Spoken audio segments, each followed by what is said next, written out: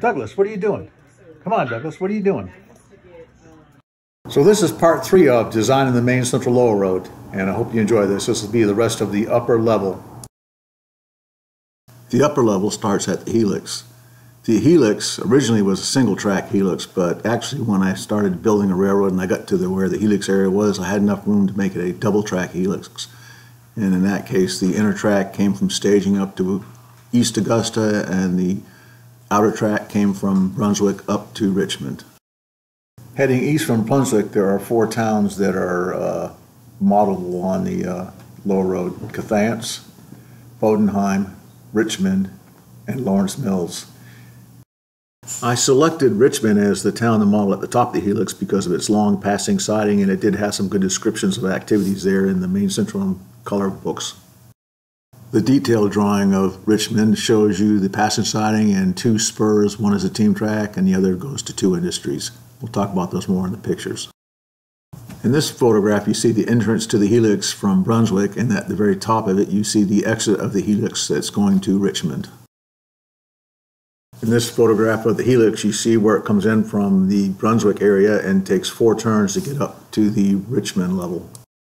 As I talked about earlier, the helix was originally designed to be a single track helix, and it actually was going to have two switches, one switch at the top to split between Richmond and East Augusta, and a switch in the middle of the helix where Brunswick would come in the helix. And uh, this was going to provide a kind of a layout design that was two reversing loops connected by a helix. By going to a double track, I got rid of two switches, and I also made the loop one, or the layout one large loop. Here we see the beginning of the passing siding at Richmond.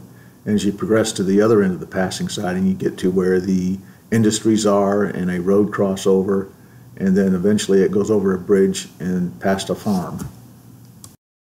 The farm was made from an assembly of buildings and farm items that uh, Matt Thompson donated me from his railroad when he redesigned it to be a switching layout.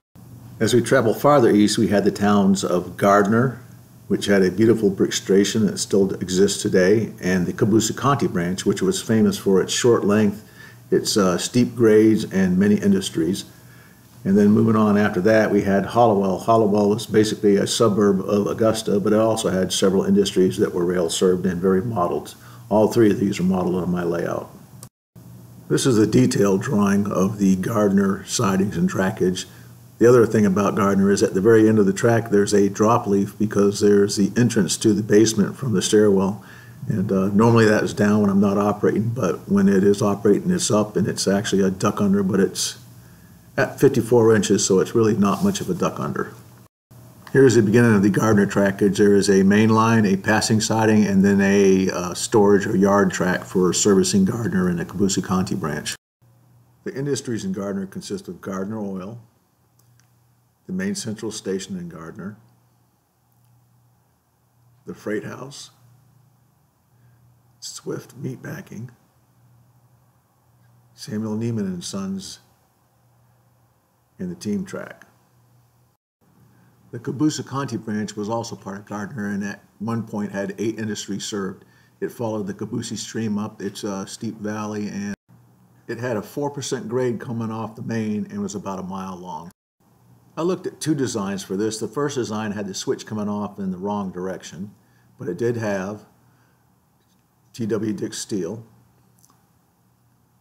the stream, Cobbosseecontee stream, Harvey Distributors, York Paper, and the SD Warren paper plant.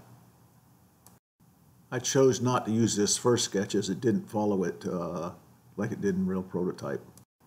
The second sketch had the actual switch in the correct location and basically looked similar to how the line looked. It had TW Dix steel, it had the stream in it, Harvey Distributors, York Paper, and it also had the SD Warren paper plant. It would change from this when I actually built it, but this was the original design. Although the stream was a prominent feature that I wanted to model, I ended up not doing it because of the way that the main line had to duck under the uh, Cobbosseecontee branch. This did not allow me to have a, uh, enough depth to do the stream, at least do it justice. Cobbossee is still in the construction phase, but here is a switch off the main, and the line leading up to T.W. Dix with the main line going underneath. The remaining part of the branch has Harvey Distributors, York Paper, and in this case, Wilbur Lumber and Hardware, which was named after my dad rather than having the S.D. Warren plant. Looking east from the Cobbossee switch, we see Route 201 and the main line heading to Hallowell. The next town was Hallowell, which had a feed distributor and a bunch of industries served by these tracks right here, including a freight house, a grocery distributor, a fuel oil dealer. There was also famous for its granite quarry, and that was also shipped out from here.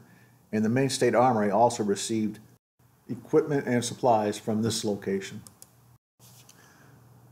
I struggled with the detailed design of Hallowell, as you can see here on the detail drawing, but eventually, as I actually laid out the uh, track, it came out just fine.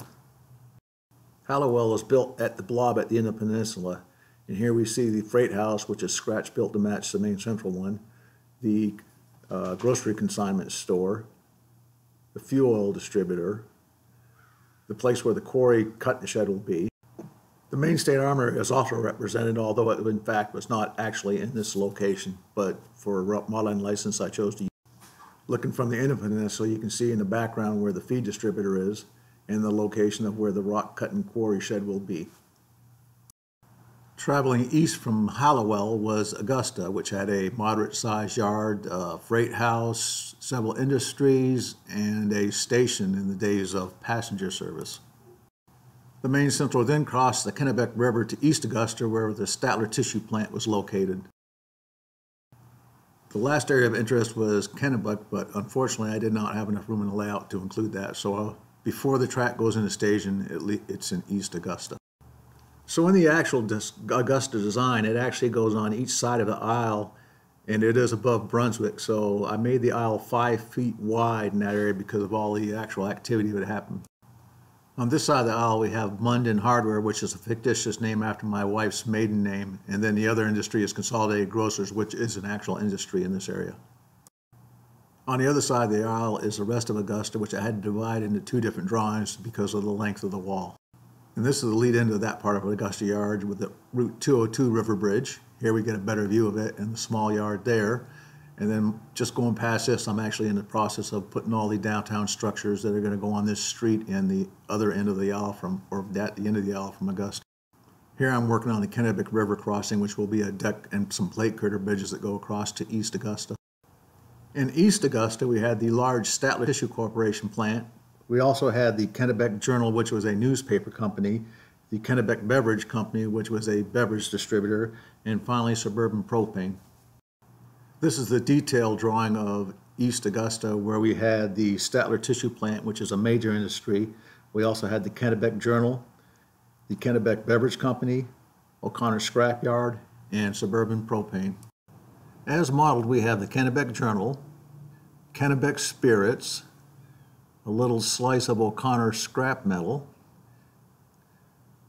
a major portion of Statler Tissue, and on the other side of the tracks from Statler Tissue is Suburban Propane.